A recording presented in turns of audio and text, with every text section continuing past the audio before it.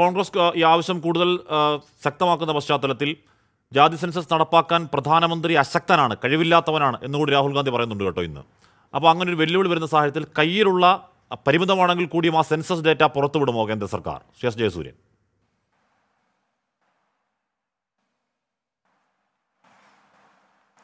ഈ census data പുറത്തുവിടുന്നത് സംസ്ഥാന തലത്തിൽ തന്നെ വിശദമായി ചെയ്യാം എന്നുള്ളത് കൊണ്ടാണല്ലോ ഈ നൂറ്റിയഞ്ചാം ഭരണഘടനാ ഭേദഗതി തന്നെ കൊണ്ടുവന്നത്. അപ്പോൾ ഓരോ സംസ്ഥാന തലത്തിലും അത് ചെയ്യാനുള്ള അധികാരം സംസ്ഥാനങ്ങൾക്ക് കൊടുത്തു കഴിഞ്ഞു. ഇപ്പോൾ ഞാനിവിടെ നട- നടന്ന ചർച്ചയിൽ എല്ലാവരും പറഞ്ഞ ഒരു കാര്യമുണ്ട്.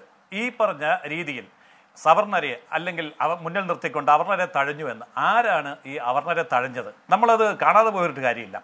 ഇവിടുത്തെ കമ്മ്യൂണിസ്റ്റ് പ്രസ്ഥാനങ്ങൾക്ക് മൂന്ന് മൂന്ന് സംസ്ഥാനങ്ങളിലായിട്ട് ഇരുപത്തി അഞ്ച് തവണ മുഖ്യമന്ത്രിമാരായിട്ട് സത്യപ്രതിജ്ഞ ചെയ്യാൻ അവസരം കിട്ടിയിട്ടുണ്ട്. എത്ര ഒ ബി സി എത്ര എസ് സി എത്ര എസ് ടി എത്ര ആദിവാസിയെ മുഖ്യമന്ത്രിയാക്കിയിട്ടുണ്ട്? കോൺഗ്രസിന് എട്ട് തവണ പ്രധാനമന്ത്രി പദം കിട്ടിയപ്പോൾ ആ കോൺഗ്രസ് എത്ര എസ് സി എത്ര എസ് ടി എത്ര ഒ ബി സി എത്ര ആദിവാസികളെ പ്രധാനമന്ത്രിയാക്കിയിട്ടുണ്ട്. അവരുടെ കൂടെ ആളില്ലാഞ്ഞിട്ടാണോ? അതുപോലെ തന്നെ കമ്മ്യൂണിസ്റ്റ് പ്രസ്ഥാനത്തിന് രണ്ട് തവണ ക്യാബിനറ്റ് മിനിസ്റ്റർ പദവി കിട്ടി. രണ്ടും കൊടുത്തത് ബ്രാഹ്മണന്മാർക്കാണ്. മാർക്സിസ്റ്റ് പാർട്ടിക്ക് ഒരു തവണ ലോക്സഭാ സ്പീക്കർ സ്ഥാനം കിട്ടി. അതും കൊടുത്തത് ബ്രാഹ്മണർ തന്നെയാണ്. നൂറ് വർഷമാകാൻ പോകുന്ന കമ്മ്യൂണിസ്റ്റ് പോളിറ്റി ബ്യൂറോയിലെ തൊണ്ണൂറ് ശതമാനം പേരും സവർണ മേധാവികൾ തന്നെയാണ്. അവരൊക്കെയാണ് ഇപ്പോൾ അവരുടെ കയ്യിൽ അധികാരമുണ്ടായിരുന്ന കാലഘട്ടമെല്ലാം പിന്നിട്ട് ബി ജെ പിയുടെ കാലഘട്ടം വരുമ്പോൾ പിറകോട്ട് നോക്കി ഇന്ന് മറ്റുള്ളവർക്ക് വേണ്ടി കരയുന്നത്. അധികാരം കയ്യിലിരുന്ന സമയത്തൊന്നും ഇത് ചെയ്തില്ല. അതുപോലെ ഇപ്പോൾ കേന്ദ്ര സെക്രട്ടറിമാരെ കുറിച്ച് പറയുന്നു.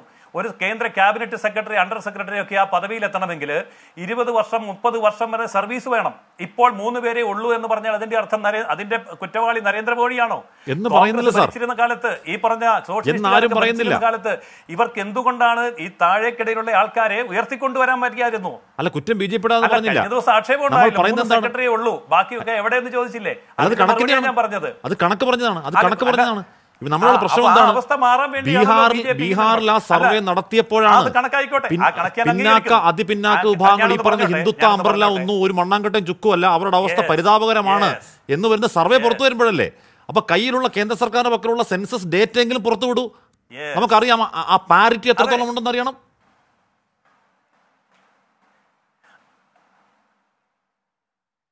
അതറിയണമെന്നേ അതറിയണം അത് അത്രയും അറിഞ്ഞാൽ പോരാ അത് വ്യക്തമായി സംസ്ഥാന തലത്തിൽ വേർതിരിച്ച് തന്നെ അറിയുകയും അത് പരിഹരിക്കുകയും വേണം. അതിനാണ് ഈ നൂറ്റിയഞ്ചാം ഭരണഘടനാ ഭേദഗതിയും ഈ ജാതി സെൻസസും ബി മുന്നോട്ട് വെക്കുന്നത്.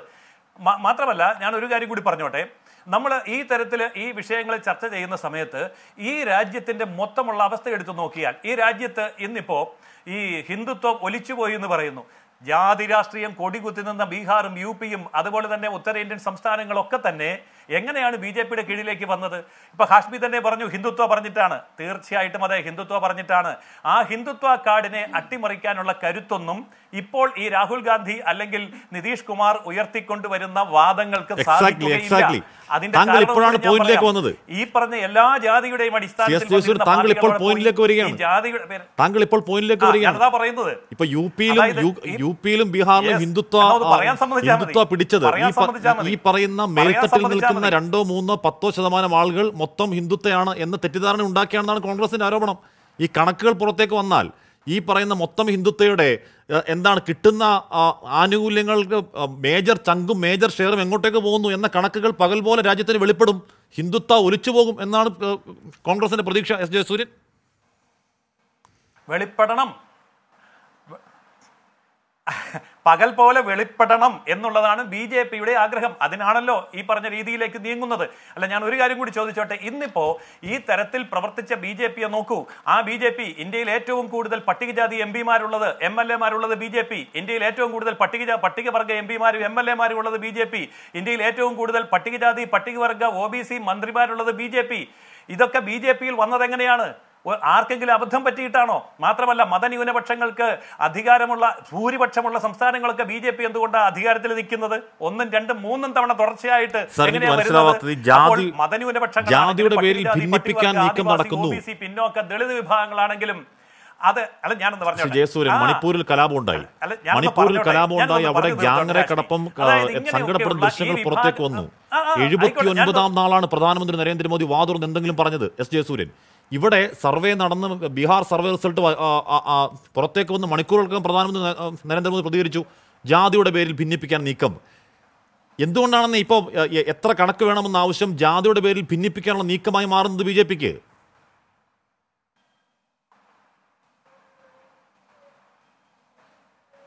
ഹാഷ്മി എങ്ങോട്ടാ ഒളിച്ചോടുന്നത് ഹാഷ്മിക്ക് എന്നാ പേടിയാകുന്നുണ്ടോ എനിക്ക് മറുപടി നിങ്ങളെല്ലാം ചോദിക്കുന്ന ചോദ്യത്തിന് എന്റെ കയ്യിൽ മറുപടിയുണ്ട്.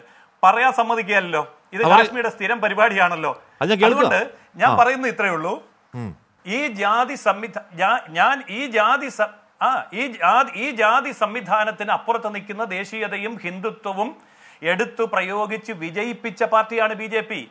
ആ പാർട്ടിക്ക് ഈ പേടിയില്ല. അതുകൊണ്ടാണ് ഇന്ന് പൻ- പിന്നോക്കക്കാര് പട്ടികജാതി പട്ടികവർഗ ഒ ബി സി ആദിവാസി വിഭാഗങ്ങൾ ബി ജെ പിയിൽ വന്ന് എം എൽ എയും എം പിയും മന്ത്രിയുമായിട്ട് ഈ രാജ്യം ഭരിക്കുന്നത്. അപ്പോൾ ജനങ്ങൾ ഞങ്ങളോടൊപ്പമുണ്ട്. ഞങ്ങൾക്ക് രാഹുൽ ഗാന്ധിയുടെയും നിതീഷ് കുമാറിന്റെയും ഈ നീക്കങ്ങളെ തരുമ്പും ഭയമില്ല. അവരുടെ കയ്യിലെ അവസാനത്തെ തുറുപ്പ് ചീട്ട് അവർ പ്രയോഗിച്ചോട്ടെ. ഞങ്ങൾ അതിനെ സ്വാഗതം ചെയ്യുന്നു. ഞങ്ങൾക്ക് ഭയമില്ല. അപ്പോൾ ഇത് പട്ടികജാതി പട്ടികവർഗക്കാർ അംഗീകരിച്ചു. ഒ ബി സി അംഗീകരിച്ചു. ദളിതർ അംഗീകരിച്ചു. എന്തിനേറെ? യു പിയിലും ഗുജറാത്തിലുമൊക്കെ പതിനാറ് പതിമൂന്ന് അസംബ്ലി മണ്ഡലങ്ങളിൽ മുസ്ലിങ്ങൾക്ക് ഭൂരിപക്ഷമുള്ള മണ്ഡലങ്ങളിൽ ബി ജെ പിയുടെ സ്ഥാനാർത്ഥികൾ ജയിച്ചു. ആരാ ബി ജെ പിക്ക് വോട്ട് ചെയ്തത്?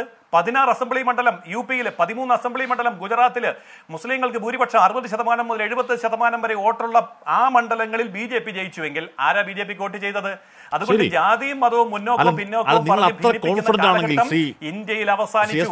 ബി ജെ പി അവസാനിപ്പിച്ചു. സി. എസ്. ജയസൂര്യൻ മണ്ഡൽ രാഷ്ട്രീയത്തിന്റെ എന്താണ് പ്രേതം പോലും ഇങ്ങോട്ടേക്ക് വരില്ല. ഹിന്ദുത്വത്തെ ഒന്നും ബാധിക്കില്ല എന്ന് എന്ന് എന്നതാണ് നിങ്ങളുടെ അത്രമേൽ വലിയ പ്രതീക്ഷയെങ്കിൽ. മണിപ്പൂരിൽ എഴുപത്തൊൻപതാം നാൾ മാത്രം മിണ്ടിയ പ്രധാനമന്ത്രി എന്തിനാണ് ബീഹാർ സെൻസസ് പുറത്തു വരുമ്പോൾ തൊട്ടുപിറ്റ് ആ- മണിക്കൂറുകളിൽ തന്നെ ഇത് ഭിന്നിപ്പിക്കാനുള്ള നീക്കമാണെന്ന് പറയുന്നത്? ഇവരുടെ കണക്ക് പുറത്തേക്ക് വരണം എന്ന് രാജ്യത്തിന്റെ ഒന്നാകെ ആവശ്യമാണ് അപ്പോൾ ബി ജെ പിയുടെ ആവശ്യമാണ് എസ് ജയസൂര്യൻ പറയുന്നത് പോലെ. ആ കണക്ക് പുറത്തു വരണം എന്ന ആവശ്യം ഭിന്നിപ്പിക്കാനുള്ള നീക്കമാവുന്നത് എങ്ങനെയാണ് സി എസ് ജയസൂര്യൻ?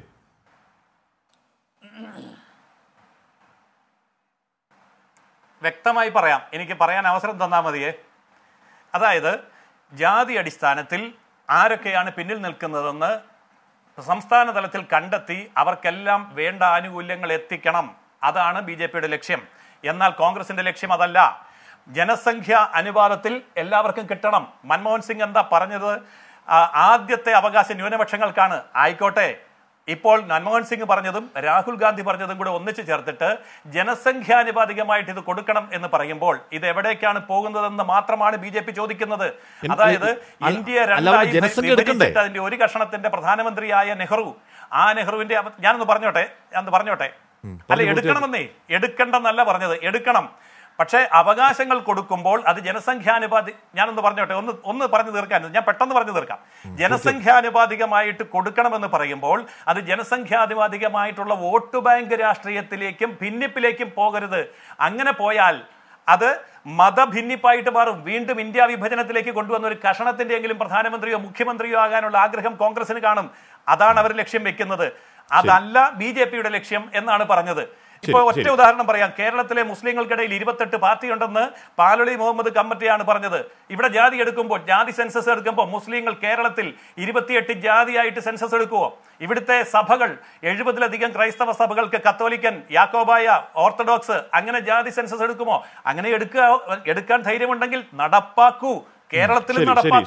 ഇതാണ് ബി ജെ പി പറയുന്നത്. ഇപ്പോ അല്പസമയം മുൻപ് ഹിന്ദുത്വ പയറ്റി ജയിച്ചതാണ് ഞങ്ങൾ എന്ന് പറഞ്ഞ ഉദ്ദേശിക്കുന്നത്. ഹിന്ദുത്വ പയറ്റി ജയിച്ചതാണ് ഞങ്ങൾ എന്ന് പറഞ്ഞ ജയസൂര്യൻ തന്നെ മതഭിന്നിപ്പിനെ പറ്റി അടുത്ത വരിയിൽ തന്നെ പറയുകയാണ്. നോക്കണേ പൂർവാപര വൈരുദ്ധ്യം. ഞാൻ എത്താം ശ്രീ അങ്ങയിലേക്ക് ശ്രീ രാജു പി നായർ?